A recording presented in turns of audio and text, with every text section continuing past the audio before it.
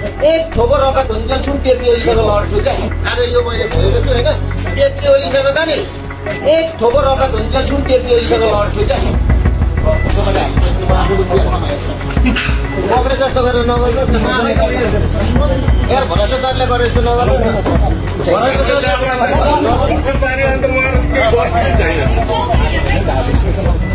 विवादित चिकित्सा व्यवसायी दुर्गा प्रसाईलाई आइतबार दिउँसो भक्तपुरको थिमी स्थित आफ्नै घरबाट पक्राउ गरिएको छ। नेपाल प्रहरीको साइबर ब्युरोका प्रमुख नवीन्द्र अर्यालका अनुसार ब्युरोबाट खटिएको टोलीले प्रसाईलाई नियन्त्रणमा लिएको हो। प्रसाई विरुद्ध साइबर अपराध गरेको आरोपमा एक महिलाले मुद्दा दायर गरेको अर्यालले पुष्टि गरे। उनले भने प्रसाई अहिले नेपाल प्रहरीको हिरासतमा छन् र उनीमाथि लागेको आरोपबारे अनुसन्धान भइरहेको छ। यसअघि बुधबार काठमाडौँ जिल्ला अदालतले प्रसाई सहित जीवन पाण्डे र प्रकाश चन्द्र दाहाल विरुद्ध विद्युतीय कारोबार एन दुई हजार आठ उल्लङ्घन गरेको अभियोगमा पक्राउ पूर्जी जारी गरेको थियो। दुर्गा प्रसाई पक्राउ पर्दाखेरि सिधा चेतावनी दिएको छ केपी शर्मा ओलीलाई अन्तिम रगत रहन जेल लड्नेछौ छोड्ने छैन केपी ओलीलाई भनेर चेतावनी दिएको छ र उहाँ पक्राउ पर्न साथ उहाँका समर्थकहरूले पनि यस प्रकार चेतावनी दिएको छ। ज्वाला के भन्न चाहन्छु भने उहाँ पनि महिला हुनुहुन्छ। आज उहाँले एउटा स्टाटस लेखिराख्नु भएको छ। दुर्गा प्रसाईको विरुद्धमा पक्राउ पूर्ति जारी भएको हिजो उहाँको निवास पत्रकार सम्मेलन भएको छ। त्यो पत्रकार सम्मेलनमा केही केही गति छाडा महिलाहरू उहाँले बुझिराख्नुहोस् सङ्ग्रहलाजी गति छाडा महिला पनि भेला भएका रहेछन्। ती महिलाहरूले मलाई कुट्ने कालो मसो दल्ने योजना बनाउने गरेको भिडियो मलाई प्राप्त भयो प्राप्त भएको छ। ती महिलाहरूको हुलिया पहिचान उनी उनी गरी उनीहरू विरुद्धमा पनि मुद्दा दर्ता गराउँछु उहाँ गरेर देखाउनुहोस् न तपाईँमा दम छ भनेपछि। त्यो भिडियोलाई तिनीहरूको भोइस पनि भोइस पनि अटाउ अटाउने गर्दछु। र केही केही महिलाहरूले चाहिँ ज्वालालाई अ, झुटो कुटिने चाहिँ भन्दै हल्ला फिजाएर भोइस पनि प्राप्त भएको छ।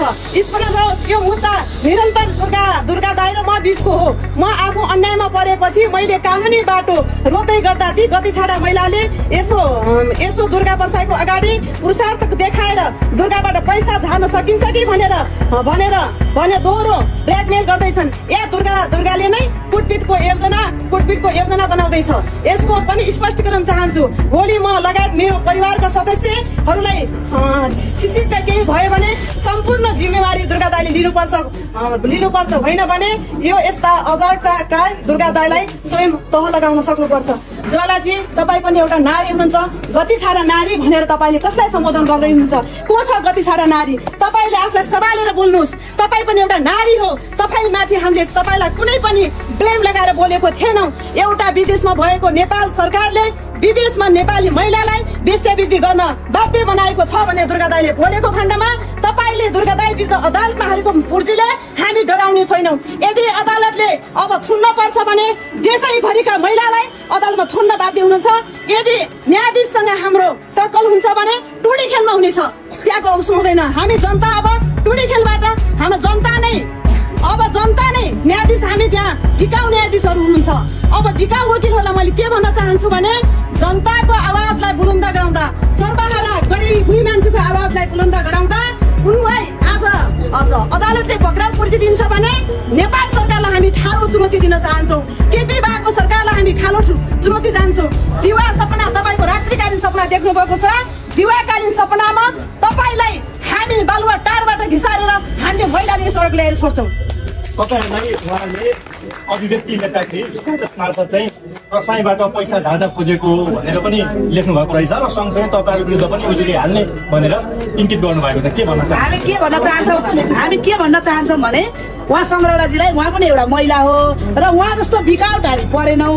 हामी सच्चा मनले भुइँमा ब्याङ्क वित्तीय संस्थाले सकेर भुइँमा लड्दै गर्दाखेरि दुर्गा दाईले हात हात दिएको भएर दुर्गा दाईको छत्र छायामा बाँच्न बाध्य भएका महिलाहरूलाई उहाँले हामीलाई त्यस्तो नराम्रो स्ट्याटस लेख्नु भएछ। उहाँले के सोच्नुभयो र उहाँको परिवार उहाँलाई गर्नु गर्नुपर्ने हामीले केही छैन। उहाँले हामीलाई के भनेर पक्राउ पूर्ति दिनुहुन्छ? हाम्रो नाममा मुद्दा दर्ता गर्नुहुन्छ। त्यो हामी एकदम स्पष्ट सुन्न पनि चाहन्छौँ। र उहाँलाई हामीले कोही दुर्गा दाईले हामीलाई दुई पैसा दिनुहुन्छ कि भनेर हामी माग्न आएका पनि होइनौँ। हामी न्याय पाउँछौँ कि? हामी मऱ्यौँ भने हाम्रा भोलिका छोराछोरीले न्याय पाउँछ कि भनेर यो सत्ता परिवर्तन गर्न आएका महिला हौँ हामी। उहाँ जस्तो कसैलाई आक्षेप लगाएर कसैलाई पक्रापुर्ती जारी गरेर हिँड्ने महिला परेनौँ हामी।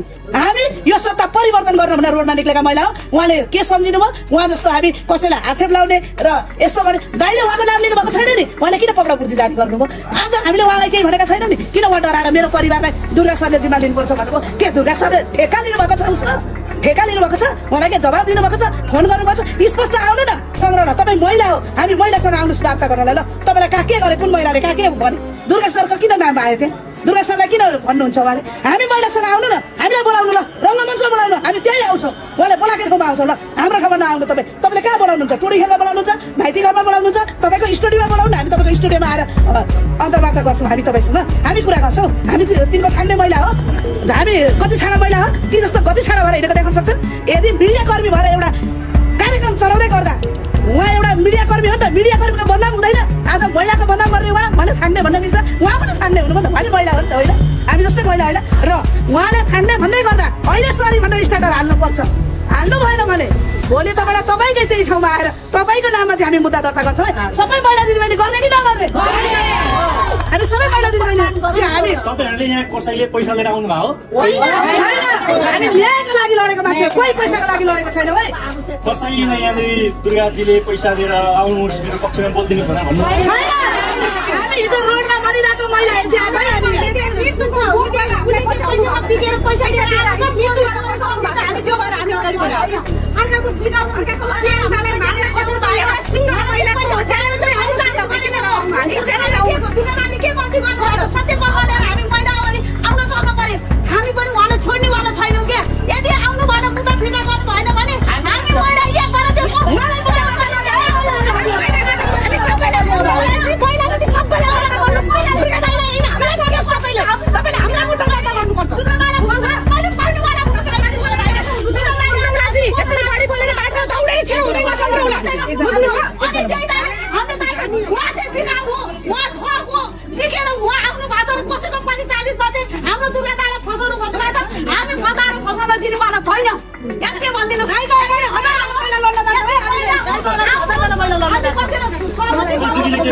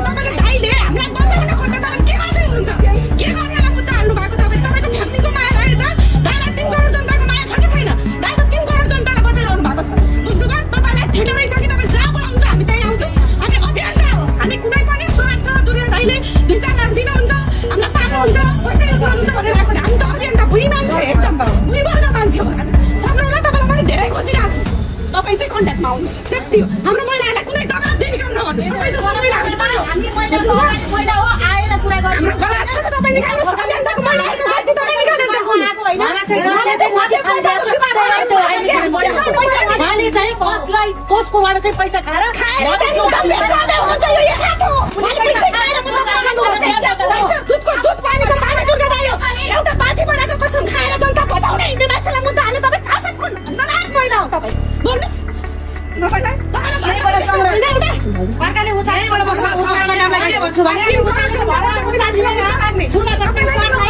भने त्यो मिडिया कर्मीलाई यहाँ ल्याउनै पर्छ त्यो मुद्दा फिर्ता गर्नै पर्छ मुद्दा फिर्ता दुर्गा सरलाई मुद्दा हाल्नेले हामीलाई हामीलाई हाल्नुहोस् हो हामीलाई हामी तयार छौँ दुर्गा सरले उसलाई के गरेछ उसको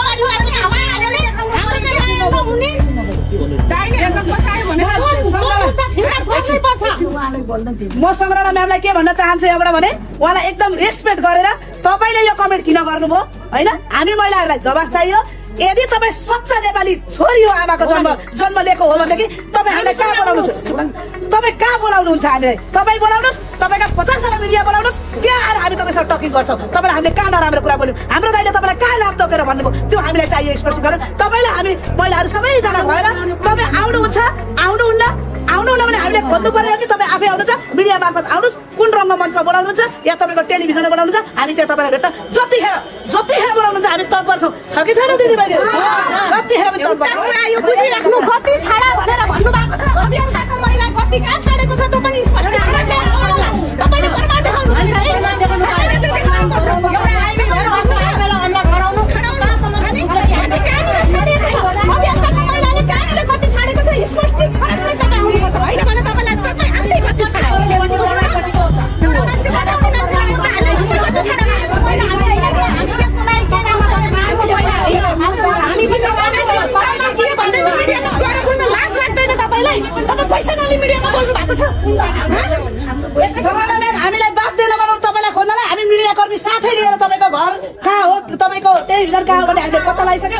आऊ कि तपाईँ आउनुहुन्छ मिडियामा? यो कुरा अहिले सत्य तथ्य अहिले आउनु?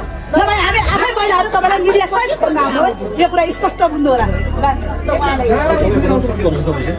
केपी सरकार मरेको बाघको जुवा मसार्दैमा। पलवान बनिँदैन सक्नुहुन्छ र दम हुनुहुन्छ भने एउटा कसैले जन्माएकी चेलीलाई पैसामा किनेर मिडियामा बोल्न नलगाउनुहोस्। चेस्का मिडियामा बोल्ने महिला जस्ता ज्वाला सङ्ग्रौला जस्ता महिला यो देशमा यति धेरै छन् कि तपाईँ गनेर गन्नै सक्नुहुन्न। के सोच्नु भएको छ तपाईँलाई? हामी यो केपी सरकारलाई च्यालेन्ज गर्न चाहन्छौँ र भन्न चाहन्छौँ। अब तपाईँ र दुर्गा पर्साई भनेको एउटै गिरिया जिल्लाको होइन? तपाईँ मान्छे मारेर नेता बन्नुभयो। दुर्गा पर्साई यो देशका सर्वहारा भुइँ मान्छेको आवाज बोलेर सहारा विहीनको सहारा बनेर मसिया बन्नु भएको छ। अनि यो मसियामा यस्ता महान पुरुषको योद्धा हौ हामी। हामी सडकबाट सदनसम्म पुग्नलाई हामी आफ्नो टाउकोमा कफन बाँधेर अगाडि बढेका महिला हौ। तपाईँले नाटक नगर्नुहोस् सम्हालिनुहोस् अझै पनि हामी तपाईँ महिला भएको नाताले अझै पनि रेस्पेक्ट गरेर भन्दैछौ। तपाईँले के लेख्दै हुनुहुन्छ? फेसबुकमा मिडियामा सञ्जालमा लेख्दैमा महान बनिँदैन हामी त यो मैदानमा उत्रिएर अब मर्न तयार भएका महिला हौ हामी यो सीता जन्मेको देशमा जन्मेका नारी हौ। भिरकुटी जस्तो ना जन्मेको देशमा जन्मेका नारी हौ। हामी हिजो बलभद्र पुरले लडेको मैदानमा लड्दा त्यहाँ पनि महिला दिदी बहिनीहरू हुनुहुन्थ्यो लड्ने। त्यस्ता देशमा जन्मेका नारी हौ। कमजोर नठान्नुहोस्। हुन त तपाईँ पनि एउटा महिला हो। आज एउटा यो देशको सर्वहारा भुइँ मान्छे जसले आज यो देशका हरेक नेपालीहरूलाई बचाउनु भएको छ। त्यसका विरुद्धमा तपाईँ बोल्नु भनेको अब तपाईँ आगोमा हाम फाल्नु हो। हवस् त यति भने धन्यवाद। साइबर कसुरमा पक्राउ परेका विवादास्पद व्यवसायी दुर्गा प्रसाईलाई प्रहरीले दस दिन हिरासतमा राखी अनुसन्धान गर्ने भएको छ र आइतबार पक्राउ परेका उनलाई जिल्ला अदालत काठमाडौँले दस दिन थुनामा राखी अनुसन्धान गर्न अनुमति दिएको हो। प्रहरी साइबर ब्युरोले भक्तपुरबाट प्रसाईलाई पक्राउ गरेको थियो। सामाजिक सञ्जालमा जथाभावी बोल्दै हिँड्ने प्रसाई विरुद्ध राष्ट्रिय स्वतन्त्र पार्टीका एक केन्द्रीय सदस्यले साइबर ब्युरोमा जाहेरी दिएकी थिइन्। त्यसै आधारमा अदालतबाट पक्राउ पुर्जीले प्रहरीले आइतबार उनलाई पक्राउ गरेको हो। मलाई पनि पनि मलाई हो थुनेकै हो। हामीले गल्ती नगर्दा पनि आज के गल्ती थियो हाम्रो? अब हामी त उहाँको अब उसमा गएको थियौँ पेपर बुझाउनलाई। अनि आएर थाहा नपाइकन तपाईँहरूलाई थाहा हुने हामीलाई थाहा हुन्छ हुँदैन। थाहा हुने नहुने।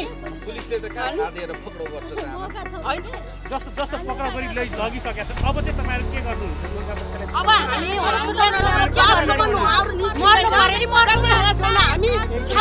ठोकेर छाती ठोकेर गोली हान भनेर उहाँलाई निकाल्छौँ जबसम्म हामी उहाँलाई निकाल्न सक्दैनौँ हामी त्यहाँ नै आन्दोलन गर्छौँ। तपाईँहरूलाई पनि थाहा थियो। हामीलाई मात्र होइन तपाईँहरूलाई पनि थाहा थियो।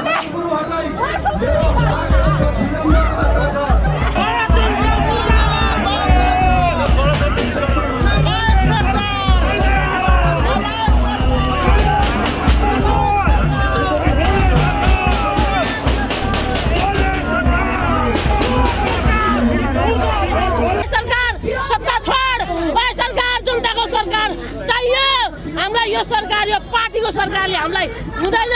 हामी जनताको सरकार चाहिन्छ आज हामीलाई मारेर आज हत्या हिंसा पटक पटक पटक हाम्रो दिनु भइरहेको छ। आज सरकारको कमजोरले गर्दा आज देश विदेशीको डलरमा हिँडेको छ सरकार। विदेशको डलरमा फिरङ्गी सरकार मुर्दाबाद। मुर्दाबाद मुर्दाबाद। गणतन्त्र मुर्दाबाद। मुर्दाबाद मुर्दाबाद। गणतन्त्र मुर्दाबाद मुर्दाबाद। मुर्दाबाद राजतन्त्र जिन्दाबाद जिन्दाबाद जिन्दाबाद राजतन्त्र जिन्दाबाद जिन्दाबाद जिन्दाबाद